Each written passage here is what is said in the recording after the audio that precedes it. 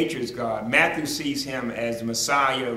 Uh, Mark sees him as a suffering servant. Luke sees him as man. And of course, John sees him overall as God or the Son of God. And we said that he is the great I am of the, uh, of the New Testament. He is the same one that spoke to Moses in in the book of Exodus, chapter 3. I am the bread of life. He becomes bread to us. I am the light of the world. When we're in darkness, we need light. I am the gate when you need to have a door to go through. Uh, he is the door. I am the good shepherd. You need someone to take care of you. He will be there. I am the resurrection and the life. He can bring newness to your, your life, not only in terms of your physical life and your emotional life and your psychological life, but also your biological life when you die and pass on to eternity. He said, I am the way, the truth, and the life, and I am the true vine. He's a connection. So Jesus is all of that to you and to me. He is the Son of God. He is God in the flesh. John tells us that in chapter in verse 5, chapter 1, the light shines in darkness, and darkness did not comprehend him. There came a man sent from God whose name was John. And we know John from the book of Luke uh, is the son of Elizabeth and Zacharias. He is also the cousin, we believe, of Jesus Christ.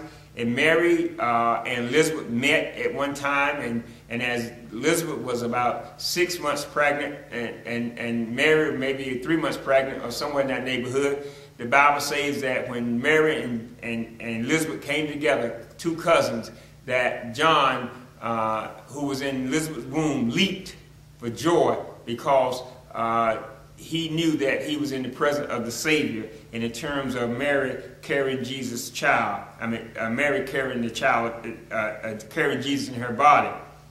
And so Jesus, the light of the world. And John so was the one who was the forerunner of Jesus Christ. He came as a witness to testify about the light so that all might believe through him. G John then was a forerunner who came to tell us about Jesus Christ. And that tells us that you and I should be telling people about Jesus Christ. We are we should be the ones who are going to the hedges and highways and broadcasting that he is the light. Because the world is in darkness. We think about all the things that are going on with wars and rumors of wars. America been in a, is in a conflict now with Iraq and Afghanistan. And then, then of course, we got all the drug situation south of the border, and we got all the tension uh, in other parts of the world, especially China and North Korea. Uh, and so, and then in our own neighborhoods, in our own schools, with the dropout rate, the teenage pregnancy, the world seems to be in darkness. But Jesus is the light. And we should be about telling folk about that light. And the church should be a light for others. As the menorah in the Old Testament, we should be the light for those who are suffering. We should not just shine our light within the four wall sanctuary, but we should be shining our light in the four corners of the world. And the Bible tells us a book about John, chapter 1, verse He was in the world, and, and the world was made through him, and the world did not know him. Now, that's sadness is when you are here, you are the creator, and you are not recognized. He came into his own, and those who were his own did not receive him. Of course, he came to the Jewish nation as the Messiah, and they rejected him. And so then the Bible tells us in, in John chapter 1, verse 12, But as many as received him, to them he gave the right to become the children of God. God now adopts you and me to his body.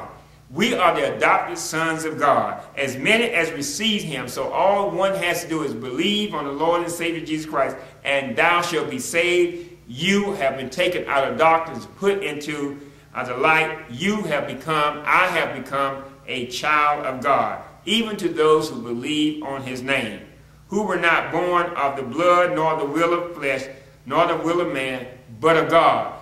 We, our salvation doesn't come from what we do or what we say or what we believe in, so to speak, but it comes from the will of God. And that's what God wants us to be, in his will. Listen to verse 14. It sort of echoes verse 1. And the Word became flesh and dwelt among us. Now, we said previously that the Word was God. So God becomes flesh and He dwelt among us. And we, meaning that John said, I, we saw His glory, glory as the only begotten from the Father, full of grace and truth. Jesus Christ, the only begotten. Only begotten means one of a kind. He's one of a kind because he's not only God, he's not only an angel, he's not only a messenger, he's not only man, but he encompasses all of the deity of the Godhead. He is he is all God and all man. He is one of a kind, and that is Jesus Christ. And John says, John testified about him and cried out, saying, This was he of whom I said, Who comes after me has a higher rank than I, for he existed before me. Now, John is testifying, and John is going to say later, I must decrease while he must increase. What, what a lesson for us as pastors.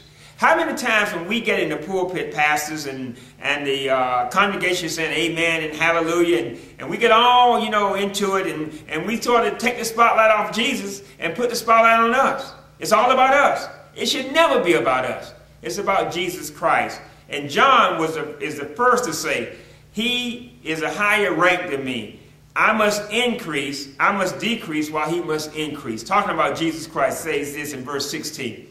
For of his fullness we have all received grace upon grace. Isn't that wonderful? Grace upon grace. By grace you are saved through faith, not of works, least any man should boast. Grace is that unmerited favor from God. Grace is what God gives you when you don't deserve it.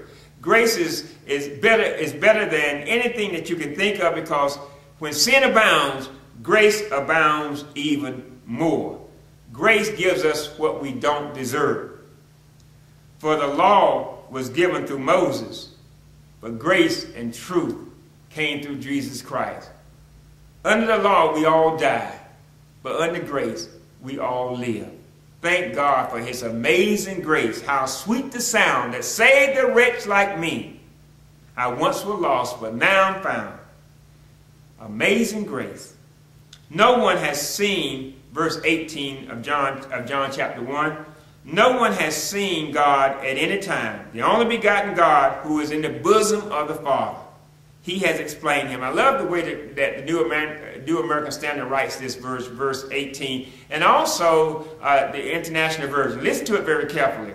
No one has seen God at any time. Now, of course, Moses saw the back of God, but in terms of seeing him as his completeness, no one has seen God at any time. The only begotten God the only begotten God, John calls him the only begotten God, who is in the bosom of the Father, he has explained him. Because Jesus said to Philip later on, If you've seen me, you have seen the Father. I and the Father are one.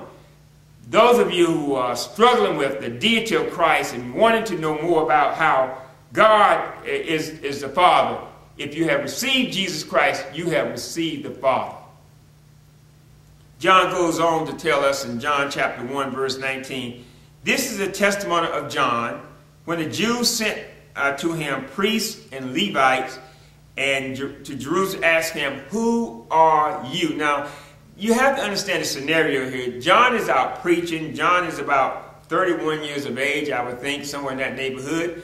Uh, Jesus is about 30 years of age. And John has been preaching in the wilderness for a number of years. Repent, repent, repent. He hasn't gone to any of these seminaries, and so he's out in the woods preaching. And the thing about it is that many people are following him rather than following the priests and the Levites. Uh, and, and, and there was a, a, a, sense of jealousy because now uh, they may lose some of their money. And so they want to know, who are you? And they weren't asking John uh, out of desire to know. They were trying to shut his mouth so he wouldn't take their congregation. And he confessed and, and did not and, and did not uh, and did not deny and confess, I am not the Christ. I am not the Messiah. Now, of course, we, we know from the book of Samuel that uh, we are told that the Messiah would come and that he would be the son of David. He would sit on the throne. And John said, I am not the Messiah. I am not the Messiah. Then they said, well, who are you? Are you Elijah? Because Elijah was to precede the second coming of Jesus. Are you the prophet that, uh, uh, that Moses talked about? Who are you? And that's where we have to leave it off today. When we come back, we're going to tell, talk to you about who Jesus really is. Because it said in verse 22, and they said to him, Who are you? So that we may give an answer to those who sent us what to say about you. And then John says, I am a voice of the one crying in the wilderness. And that's what you and I should be doing, uh, ladies and gentlemen. We should be the voice of the one crying in the wilderness. This country, this county, this city, our community needs your voice. We need your voice so that we can be into be the light that God has called us to be.